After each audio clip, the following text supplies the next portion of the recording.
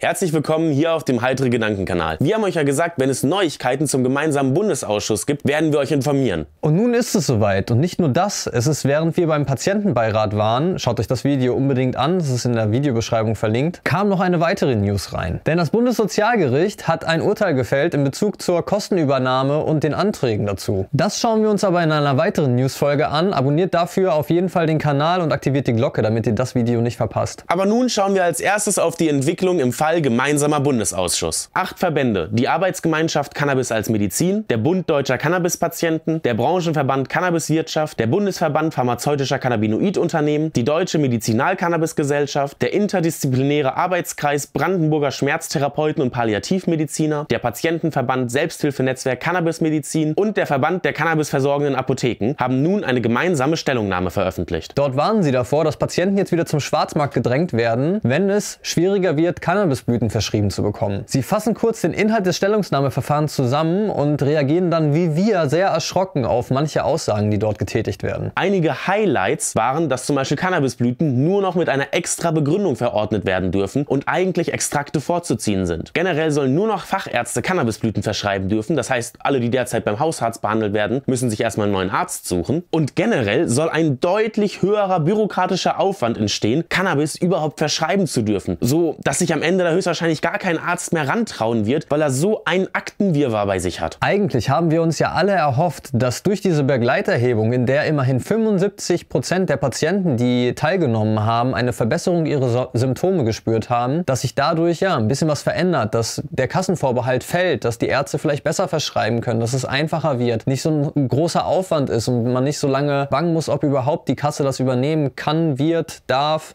soll, wie auch immer es jetzt ist. Aber davon scheinen wir jetzt noch weiter entfernt als je zuvor. Außerdem haben bei dieser Begleiterhebung lediglich 21.000 Patienten teilgenommen. Ihr seht also, diese Begleiterhebung ist gar nicht so repräsentativ, wenn man überlegt, wie viele Cannabispatienten es zurzeit in Deutschland gibt. Und nur mal ein Punkt am Rande. Bei diesen vielen Cannabisblüten, die wir im deutschen Apothekenmarkt haben und bei den sehr wenig Informationen, die Patienten und gerade Erstpatienten erhalten, welche Wirkweisen die gewissen Sorten haben und bei welchen Krankheiten sie am besten helfen, da ist es doch nicht verwunderlich, dass die Erstpatienten es nicht schaffen, schaffen, direkt auf Anhieb die richtige Sorte für sich zu finden und deswegen in dieser Erhebung vielleicht auch das erste Mal unglücklich waren. Angenommen, er kriegt eine zu hohe THC-Sorte mit 25% verschrieben bei einer Symptomatik, die sowas eigentlich gar nicht fordert, hat dann starke Nebenwirkungen und wird dann in der Studie als jemand geführt, der ja, hat nichts gebracht, ist schlechter geworden, schlimmer geworden, dementsprechend negativ. Dabei hat er einfach nur die falsche Sorte bekommen und wurde nicht richtig informiert, weder vom Arzt noch von der Krankenkasse. Ihr seht, wir haben haben viel schwerwiegendere Probleme als das zurzeit. Also liegt das Problem nicht nur an den Blüten, sondern auch an den Sorten, dass falsche Sorten verschrieben werden und nicht, dass es halt einfach nur Blüten sind und kein Fertigarzneimittel wie irgendwelche Tropfen. Es gibt halt für jeden Menschen, jedes Symptom, jede Krankheit unterschiedliche Sorten. Jeder geht nochmal individuell durch das Endokannabinoid-System unterschiedlich auf die Sorten an und dementsprechend ist es halt schwer, die richtige Sorte zu finden und dauert seine Zeit. Aber das dann direkt als negativ zu verbuchen in der Studie ist halt schon sehr schade. Nun sind aber pünktlich zum 30. November 24 Stellungnahmen eingetroffen, über die sich der gemeinsame Bundesausschuss nun berät. Spätestens zu Beginn nächsten Jahres rechnen wir mit einem Ergebnis, dadurch, dass der gemeinsame Bundesausschuss die Frist bekommen hat, sechs Monate nachdem die Erhebung veröffentlicht wurde, ein Ergebnis zu präsentieren und dadurch, dass im Juni diesen Jahres die Begleiterhebung vom BfArM veröffentlicht wurde, muss also im Januar spätestens ein Ergebnis vom gemeinsamen Bundesausschuss vorliegen. Wir sind mal gespannt, was dabei rumkommt, denn wenn man sich mal die Liste von den ganzen Verbänden anschaut, die eine Stellungnahme dazu abgeben durften, die aufgefordert wurden, eine Stellungnahme zu veröffentlichen, sind da leider sehr wenig Cannabis-Interessensverbände dabei und sehr viele andere Pharma-Interessensverbände. Aber leider wurden sich wenig von den Leuten die Meinungen angehört, die auch am Ende ja die ganzen Erfahrungen die letzten Jahre direkt noch gesammelt haben und das mehr als 21.000 Befragte in dieser äh, Begleiterhebung. Schreibt ihr mal unbedingt in die Kommentare, was ihr meint. Erstmal, wie fandet ihr die Stellungnahme? Das PDF findet ihr auch noch mal in der Videobeschreibung und dazu, was ja ist generell noch so eure Meinung? Habt ihr Hoffnung, dass der gemeinsame Bundesausschuss sich vielleicht nochmal von unserer Meinung überzeugen lässt, dass sie die, ja, es nicht erschweren sollten, an Cannabisblüten zu kommen? Und welches Ergebnis erwartet ihr auch einfach? Schreibt das mal alles gerne in die Kommentare. Wir sind gespannt, was eure Meinung ist. Bis zum nächsten Mal. Bleibt schön heiter.